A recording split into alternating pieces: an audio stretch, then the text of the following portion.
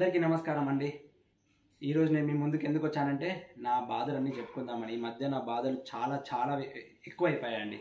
ఆ బాధలు ఏంటంటే అందరికీ తెలిసిందే కదండి. కరోనా వల్ల బాధలు మరి దారుణంగా అయిపోయాయి. నా బాధలు మీ అందరితో చెప్పుకుంటే నా బరువు తగ్గుతుందని చెప్పి మీ ముందుకు వచ్చానండి.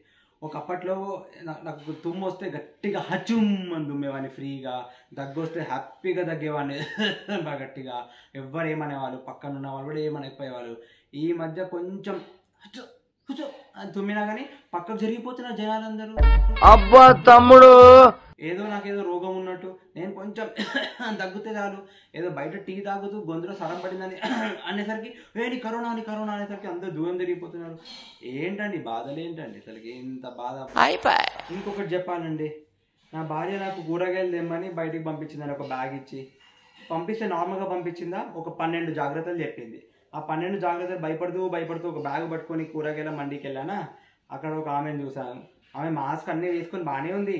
కానీ కూరగాయలను ముడితే ఎక్కడ నాకు ఏ రోగం వస్తుందని భయానికి ముట్టడం మానేసా. ఆమెని పొగిడాను. అమ్మ నువ్వు చాలా బాగా ఇస్తావు కూరగాయలు. నువ్వు మంచి చూసిస్తావు. నాకు కొంచెం చూసి బ్యాగ్లో వేయు అనగానే ఆమె సంతోషపడి కూరగాయలన్నీ వేరి బాగా నా బ్యాగ్లో వేసింది. ఆమె ఇచ్చుడు ఏందో కానీ ఆమెను పొగుడు ఏందో కానీ అందులో నాలుగు పుచ్చులు నాలుగు చచ్చులు వచ్చాయి. నా కర్మ గాలి వచ్చేసాను అక్కడ నుంచి. తర్వాత పక్క కూరగాయల షాప్కి వెళ్ళాను.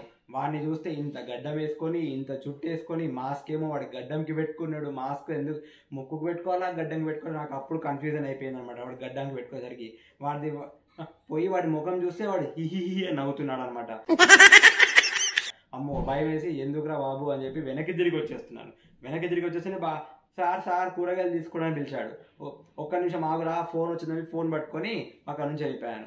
ఇక తంటను తింటను ఏదో కొంచెం చేసి ఏదో కొన్ని కూరగాయలు తీసుకొని ఇంటికి వచ్చి నా భార్య చేతిలో బ్యాగ్ పెట్టేసరికి తాను కూరగాయలు చూసి ఒకటే కోపంతో నా పైన కోపం అంతా ఆ కూరగాయలు అన్నీ తీసి వాటర్లో వేసి ఏదో నన్ను రుద్దినాను అనుకొని ఆ కూరగాయలు బాగా రుద్ది రుద్ది రుద్ది పెట్టి పక్కకు పెట్టేసింది.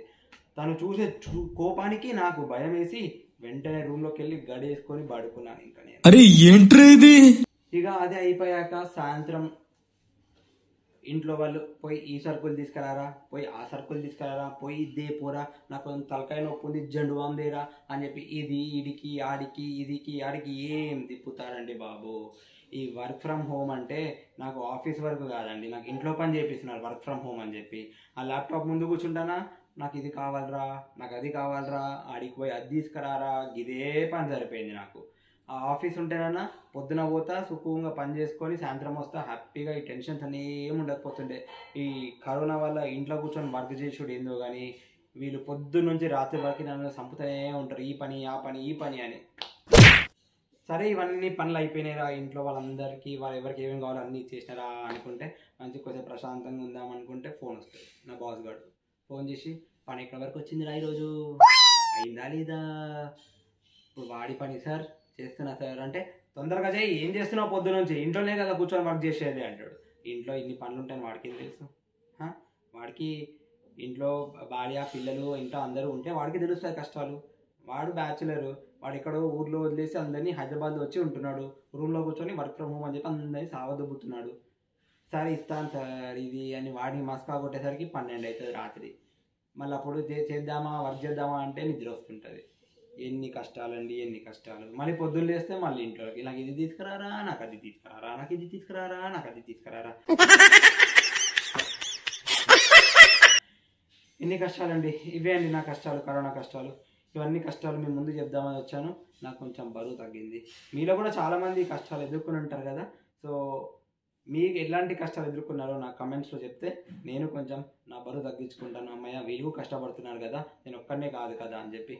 సో ధన్యవాదాలండి. థ్యాంక్స్ నా బాధలన్నీ నా కష్టాలను విన్నందుకు. Thank you bye